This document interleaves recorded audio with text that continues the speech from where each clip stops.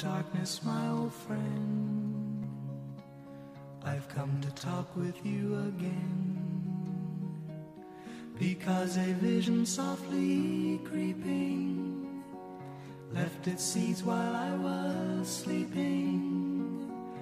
And the vision that was planted in my brain still remains within the sound of silence.